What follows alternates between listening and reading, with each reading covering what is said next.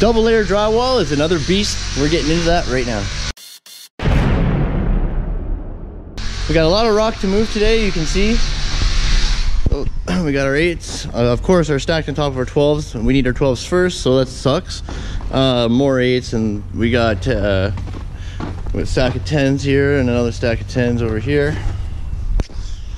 So there's quite a bit of quite a bit of rock to, to push up. So um, we uh, originally single layered these walls and um, fire taped them. Okay, uh, we came back and fire rated the columns, and uh, now we're gonna come in and, and, add a second layer, and then we're gonna have to fire tape it again. So, electricians had come and removed the conduit.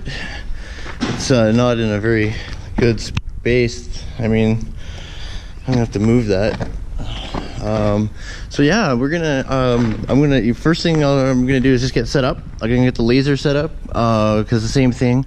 You have to one stagger your joints, and two you have to also have it level, right? So that's important. Why when we do our first, why when we do our first layer, we're making sure that it's laser leveled in, and the studs are on the centers at the top of the sheet. So you know, when we, we go to the top and screw down, right? So that's why we do that. In case a double layer has to be added, we don't have an issue of, um, you know, our bevels not lining up on a stud. Okay. Okay, so first thing you want to do when drywalling anything is make sure you have a clean path. Remember that old saying, watch where you're walking? Well, that can't be more true in construction. As you see, there's a rebar sticking out of the ground there, and we have the rebar sticking out of the ground here as well. So yeah, you uh, you don't you watch where you're going. You hit that, you're on timeout. So don't uh, don't take that lightly. All right. So yeah, first things first, you make sure everything's out of your way. Second thing you're gonna do, check your layout. Third thing, stand up your sheets. Okay, so we set up the laser. I got the laser set up. Right, the the PM2LG, right? That's the Hilti. We check uh, the uh, ends for the low low spot. The buddy, it's just it's just shaking right now because it's not on stable ground, but the, it's normally stable. And uh, you just measure up and write the number down. You take the you go to the low side and you and you you, you come up on the low side okay? Because uh, it's uh, yeah it just that's you know obviously if you go on the high side and you come down here it's going to be way up right? So you got to cut down and in to the into the grade beam.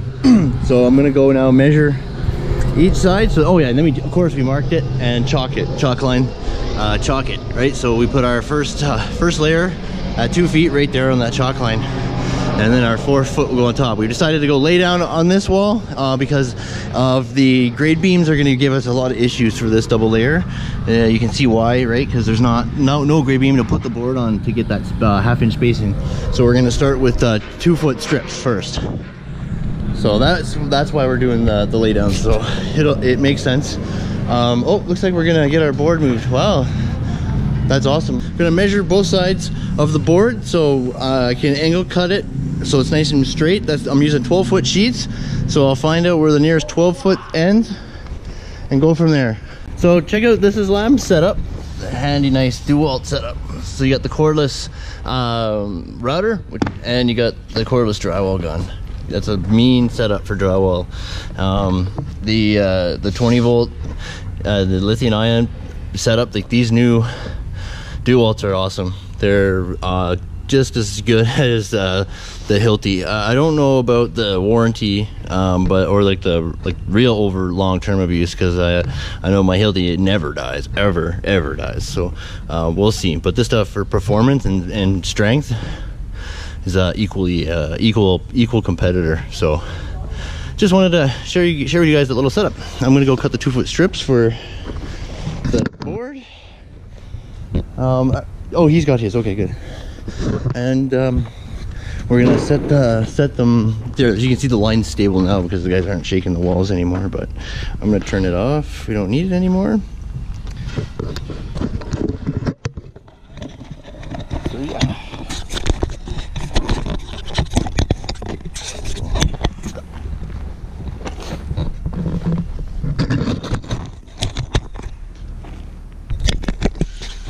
There we go. That works.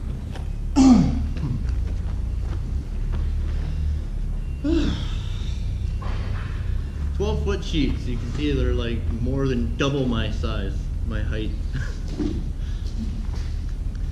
Screws we're using are these are the inch and seven eight. Oh, sorry, inch and seven eight self drilling. Okay, so the six by inch and seven eight. Uh, got the number two Phillips head. This is the best screw for double layer 5 eighths drywall, okay? So 5 eighths, 5 eighths is an inch and a quarter. So you got, you know, uh, blah, so seven, 5 eighths in to the steel, right? So you're, you're good. It's perfect.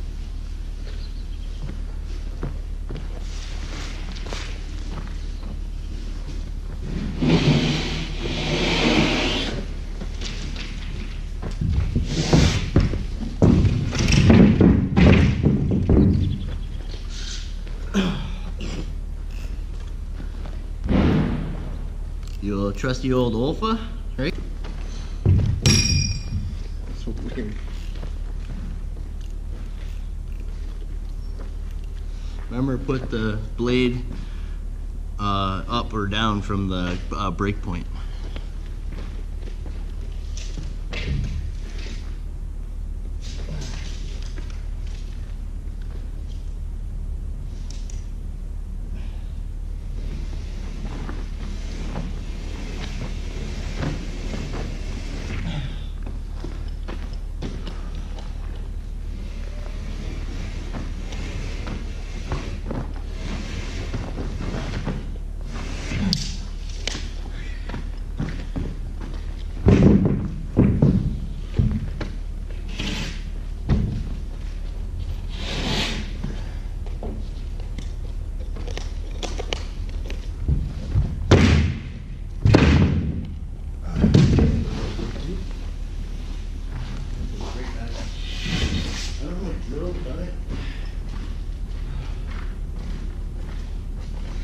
And so yeah, simple as uh, putting on uh, uh, orange paint on something like that. Um, it's you know like could save somebody's uh, life. You never know.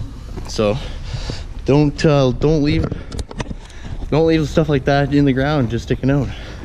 Make sure you make your work area safe. The bottom two foot done, right?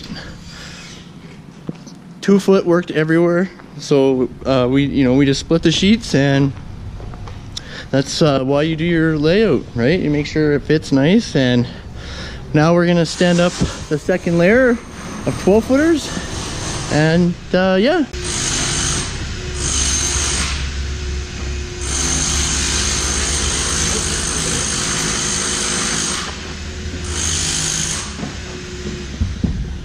That's actually awesome. Yeah. There we go.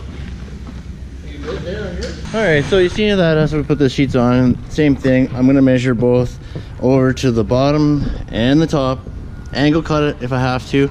I don't screw in the bevels until the sheet's in. It's double layer. There's no need to uh, screw in the, the, the bevels until the other sheet's in there, okay? It's not like uh, the, the studs are already secure in place, so they're not going anywhere. So we'll uh, save this till the other sheet's in. And same thing, it's just 16, 32, and then in the bevel. Same, same thing. Um, every six to eight inches in the bevel when you do screw it off. And rinse and repeat all the way up. We uh, have the first two rows on. The first two rows is the hard, hardest part. Uh, that's your layout. So now the first two rows are on, so the layout's done. The sheets are screwed off.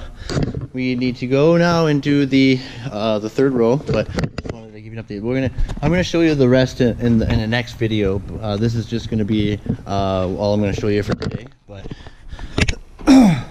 you can see we have the joints are uh, staggered, um, the horizontal and uh, and the vertical one. Um, see how we have the stand-ups on the other side? Um, I have it so that the verticals won't land on the like the that first 12 foot or that second and you know the 12 and the 10 footer up there it's actually going to land on different uh, like different elevations so um, it's uh, important to do your layout so that the joints are staggered. Um, the yeah the double layer is pretty strong when it's screwed in so uh, you just need the uh, two in the field and one on each bevel. Um, but yeah the biggest thing is you have to stagger your joints um, both the uh, horizontal and the vertical. So um, now you can see for the third row I'm just going to copy what we did on the first row. And then on the fourth row I'm going to copy what we did on the second row and so on all the way up. So that's how that works. Um, but yeah I think actually that fire rating looks good at the end. Okay the column? But yeah. Okay so that's the video. So if you're new to Chris Konkle Vlogs make sure you subscribe right down below. Hit that bell notification icon so you don't miss a thing YouTube thinks you might like this video right here. I'm putting a playlist for you to watch right below that. This is Chris everyone. Bye for now